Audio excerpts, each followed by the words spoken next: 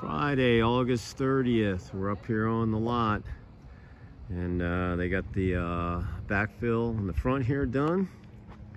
And uh, as you can see, they got we got to tie these pipes in, but they put the new uh, manhole steward hole thing in. And uh, this is all filled. This is gonna have brick in the front. It's called our water lip, water table, whatever.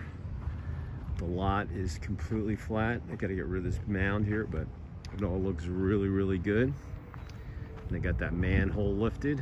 We're gonna have to doctor that up a little, but all in all, uh, this is looking good. And this rebar that sticks out of these walls, that actually gets all bent into the slab, so it gets anchored. It's our master bedroom.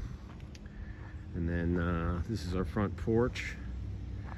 And uh, and then behind it is going to be the, uh, the slab. Our garage is going to be in the back in our backyard, and if we put a pool in, it'll be right before that berm.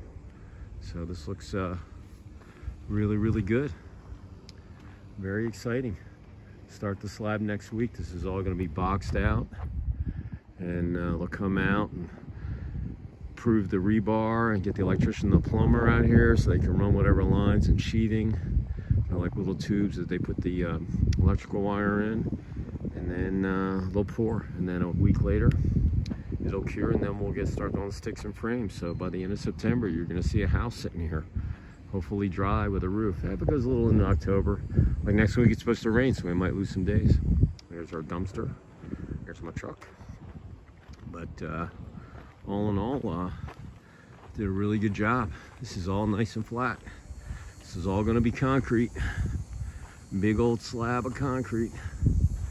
And uh, it's looking awesome.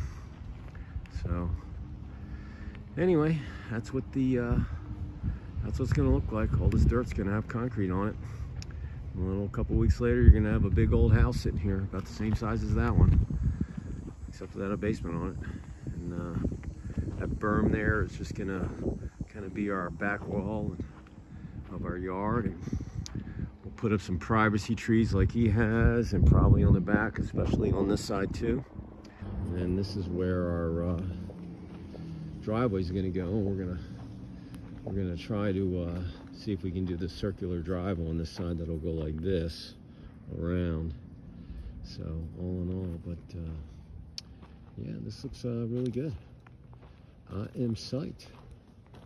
And uh, everybody. We will see you later.